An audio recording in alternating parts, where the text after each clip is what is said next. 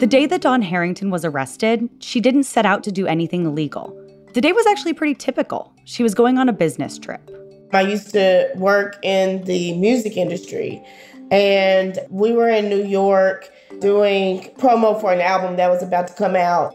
She was traveling to New York from Nashville, Tennessee, where she lived.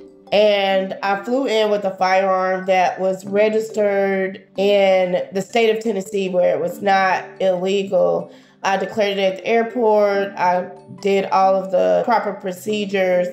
And towards the end of the day, they pulled us over. And due to the firearm, I was arrested. She, of course, told them that she had all of the proper paperwork. She had taken precautions before packing it. They said that New York, that doesn't matter. And so, long story short, after a couple of years fighting the case, I ended up having to do a year on Rikers Island. Dawn's arrest and sentence on Rikers Island were difficult and life altering experiences. But then, to add insult to injury, the law in Tennessee added another layer of punishment after her sentence that she had no idea was coming. As Dawn was trying to reestablish her daily life after she got out, one thing she wanted to do was register to vote. But in Tennessee, if you have a felony conviction after 1981, even if it's in another state, you can lose your right to vote. Many people can have their right to vote restored, but the process is extremely challenging. It starts with a piece of paper called a Certificate of Restoration. So in Tennessee, you have to go through a certificate of restoration process in which you have to get an authority to fill it out and then you turn it in. It gets more complicated from there. You have to get it signed by a supervising or pardoning authority. That was unclear to me who that even was. Was that the police in New York? Was that Rikers Island, the Department of Corrections? Like, who was it? I was, for years, basically trying to take this paper from Tennessee and paying to fly out to New York, trying to figure out who needed to fill out my paper. Nobody in New York knew how to help her. After years of this battle, it was just frustrating. And after a while, I just gave up hope because it has become such an impossible process to try to get these voting rights restored. Dawn's experience was sadly pretty typical for someone with a felony trying to get their voting rights back in Tennessee. Many voting rights advocates want to change that.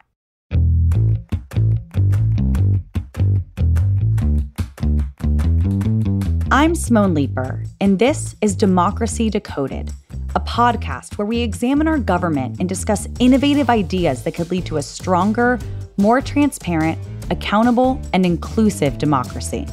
We use this show to explore questions like why does American democracy look the way it does today? And how can we make it more responsive to the people it was formed to serve? Like people with experiences in the criminal legal system, people like Dawn. Today, we're talking about felony disenfranchisement. Dawn Harrington is now the executive director of a nonprofit in Nashville called Free Hearts that works directly with Tennesseans with felony convictions and families touched by incarceration. The road to this point, though, was long. After trying for a while to get her certificate of restoration signed, Dawn had given up on regaining her right to vote. It was complicated and expensive to continue this fight. But then, after Dawn started working with CLC, we helped connect her with a reporter from the Marshall Project, a nonprofit, nonpartisan news organization that focuses on criminal justice, to write a story about her situation. And that reporter called Rikers Island for a quote about why they wouldn't sign her paper. And the reporter contacted me and told me that I have good news for you now. They're going to fill out your form. And that's actually how I got my certificate of restoration filled out. But there's so many other people that we meet that are in the same situation as me, where they were convicted in a state where if they were still there, they would have their voting rights back. Every state has different laws about when someone convicted of a felony can get their right to vote back. Dawn lived in one of the most restrictive states. Tennessee is definitely an outlier when it comes to voter disenfranchisement. Not only does someone with a felony conviction have to petition the state of Tennessee to get their voting rights back, there are also financial hurdles, like paying court costs and restitution, which can be thousands of dollars. We're the only state that basically requires an individual to be up to date on child support to get their voting rights back. And we are of only a few states that condition restoration of the right to vote on the payment of fees and restitution. We have so many fees in the state of Tennessee. After her situation was finally resolved, Dawn wanted to support other incarcerated Tennesseans and their families and try to change the criminal legal system with her nonprofit Free Hearts. Becoming incarcerated myself at a time of my life when I didn't think that could ever be possible, basically for what was essentially a mistake, a misunderstanding. It really just opened my eyes and inspired me to want to, upon release, connect with other women that have had the experience of incarceration and really just coming together to figure out how we can change things. One thing she does is help others with restoring their right to vote. She says there are over 450,000 people in Tennessee who can't vote because of a felony conviction. Those are 456,000 people that can't speak up for the different leadership that would represent our interests. Those are 456,000 people that when laws are made, they're not made with us in mind. Across the nation, that number is even higher. 24 million Americans have been convicted of felonies, and about 5 million of those Americans have lost the right to vote and are being silenced in our democracy. That's Blair Bowie. She's senior legal counsel at Campaign Legal Center and also manages the organization's Restore Your Vote program. Now, about 19 million of those folks with past convictions could be voting and do have the right to vote under their state's law but most of them don't know about it. It's a really persistent misconception that any felony conviction takes away your right to vote forever. Like we mentioned in the last episode, deliberate barriers to voting have been prevalent in our country since it was founded. After the Constitution was ratified, only white men who owned property could vote. It took more than a hundred years for women and black people to gain that right. And even then, it was far from inclusive. The idea of not allowing people with felony convictions to vote first appeared in the late 1800s, after the Civil War. So, felony disenfranchisement was a tool to strip Black Americans of the freedom to vote. That's Blair again. The way that worked is basically the states passed laws that expanded the criminal legal system and particularly targeted Black folks prohibiting things like holding a job without your former plantation master's permission or gathering in groups of four or more. And then they also passed laws that would take away the right to vote for convictions of those crimes. And in a lot of states, they left those laws intentionally vague so that they could only apply them when Black folks were convicted of crimes. Felony disenfranchisement continues to disproportionately harm Black voters, and that is by design. It is still rooted in these original post Civil War laws. We are still going off of the constitutions that were written in the 1860s. Jacola Lane also works at Campaign Legal Center with Blair, helping people with felony convictions get their voting rights restored. In my research, when I'm preparing materials for some of the partners that we're working with, I'm going back to their state constitution and trying to find what their state law is. It has not changed since its inception in the state constitution, which is wild to even think about, but that is the reality. Felony disenfranchisement and the rights restoration process look wildly different across the country. Take Dawn, for example who spent nearly a decade trying to navigate complicated state laws in Tennessee that ended up requiring her to convince officials in New York to fill out foreign paperwork. Here's Blair. There are between eight and 10 states uh, that require folks to pay off fines, fees, and restitution before they can restore their right to vote. That's really a modern day poll tax. What that means is that if a rich person and a poor person are convicted of exactly the same crime, the rich person will be able to buy their right to vote back, while the poor person will remain disenfranchised indefinitely. And that's undemocratic. Maine, Vermont, and Washington, D.C. never take away the right to vote, even while someone is serving time in prison. Other states let you get your voting rights restored when you're done with prison. Those states include New York, California, Indiana, and Utah. In 17 other states, people get their voting rights back after they leave prison and complete parole or probation. Others erect a series of very complicated barriers, including having to pay court costs and restitution, having to seek out a special certificate that says you're eligible, all kinds of different things. In the most restrictive states, which include Tennessee, Alabama, Arkansas, Mississippi, and Wyoming, people have to navigate complicated laws and jump through additional hoops. In Tennessee, that process is particularly convoluted. So, the certificate of restoration process has multiple points of failure. It's really difficult to find a decision maker who knows what the certificate is and who's willing to fill it out even if you do find someone, if they don't feel like filling it out or if they think that you're ineligible, they can basically just refuse to do it. They don't have to give you any official denial, any statement of reasons as to why you're not eligible. And they don't make decisions in a uniform way. So, a different decision maker might come up with a different answer based on your record depending on who they are, how they're reading your records, and maybe even what county you were convicted in. Blair says that besides Tennessee, another state that CLC works in that makes it incredibly difficult to regain the right to vote is Alabama. Alabama is one of the states where their constitution was specifically designed to disenfranchise Black people. They said it openly and many times when they were writing their constitution in 1901. Alabama legally disenfranchised black citizens with a specific phrase in its constitution. They said a crime of moral turpitude takes away the right to vote, but they never said what that means.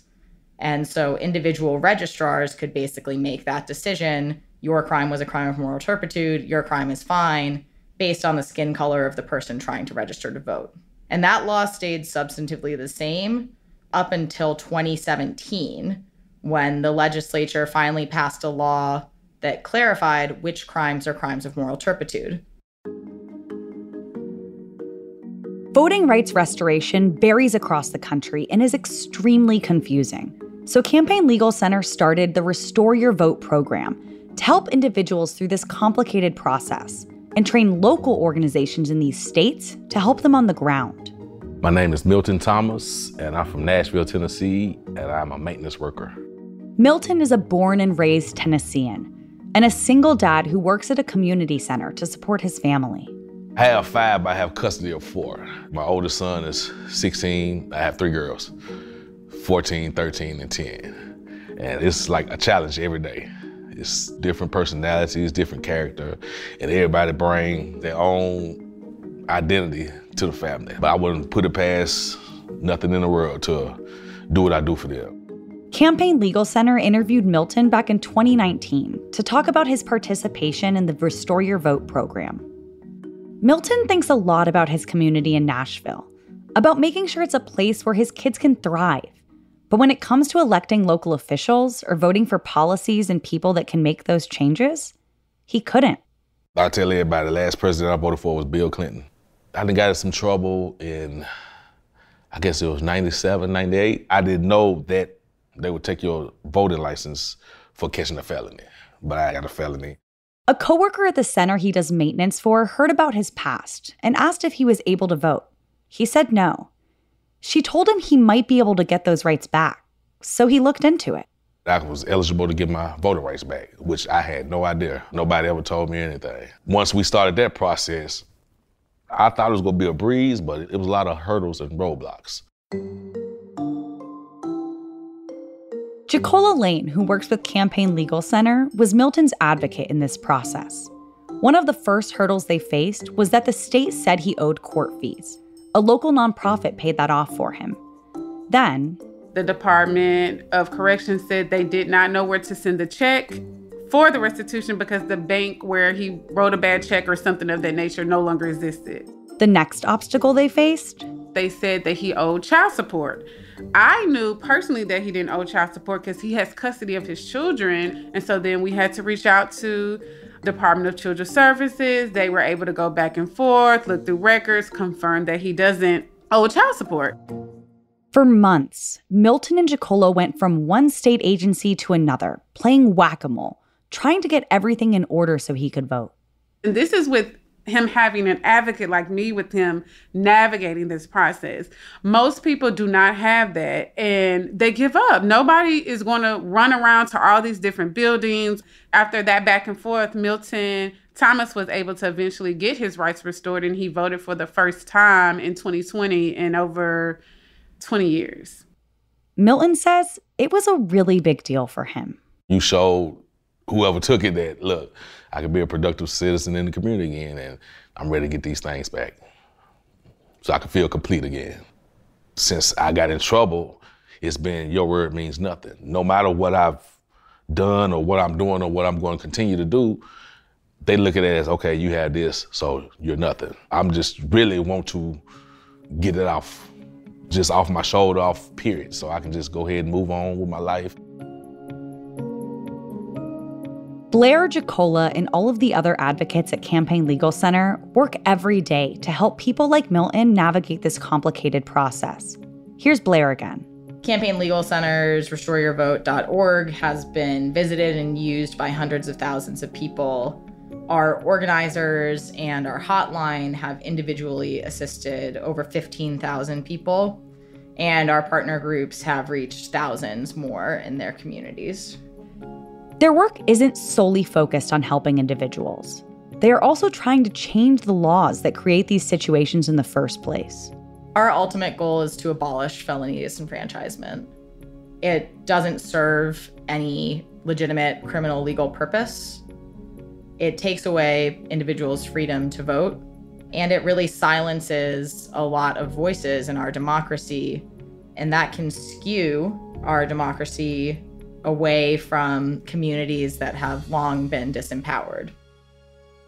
Challenging the laws that allow this kind of disenfranchisement is a big part of CLC's work. So, we brought a lawsuit in 2020 on behalf of the Tennessee NAACP and five individuals who have been unable to obtain their certificates of restoration, challenging those procedures and asking the court to order the state to set up procedures and guardrails that make sure that eligible people are able to get their certificates of restoration.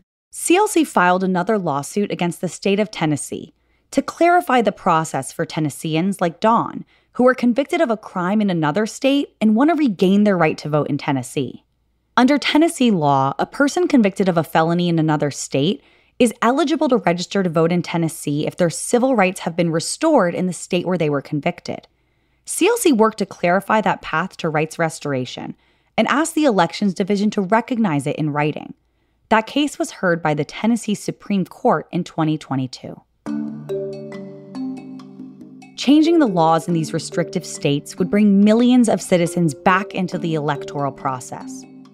As an advocate for people trying to regain their voting rights, Jacola has seen how impactful it is when someone with a felony gets to vote again they are the folks who have firsthand experience with this system, right? There's so much money being poured into incarceration, into prisons, into policing, into running the judicial system on their backs and their families' backs. A lot of them have no say so in who is the school board representative for their children they can't vote for the sheriff who's running the jails, even the judges who are sitting on the bench who may have sentenced them or who may have given them a fair shot.